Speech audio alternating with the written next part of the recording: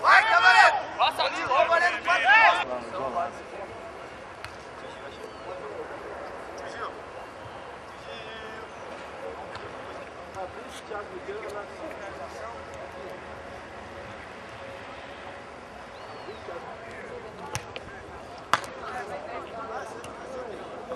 É verdade, né? Já tá, já tá mais que na hora, né? É, vamos ver. Tô treinando aí, fui convocado. Agora é, é ver aí o que o Adilson tem em mente. Se ele precisar, eu tô, tô à disposição. Acho que ninguém, né?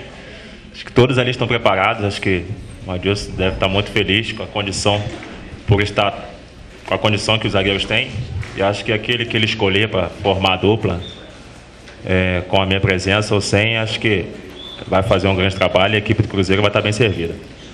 Pode ser um favor que decisivo, né? Acho que um fator decisivo. Acho que tanto para os dois lados, o Atlético tem grandes batedores, o Cruzeiro também, então o clássico é decidido por detalhes e o jogo aéreo pode ser um fator decisivo para a gente. A gente vai procurar trabalhar e tem que tomar muito cuidado com a cobrança deles também.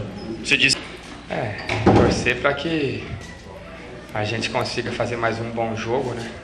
A gente vem com uma média de gols muito boa no Mineiro, então espero que continue assim, que tanto eu como o Kleber ali na frente a gente consiga fazer os gols.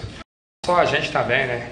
Que o pessoal que vem de trás possa nos auxiliar ali também, chegando na frente para tentar o gol sempre. Bom, É, uma coisa puxa a outra, né? No futebol as coisas funcionam assim. Então, é, o clássico, todo mundo sabe o que representa para os jogadores, treinadores, comissão, para o torcedor.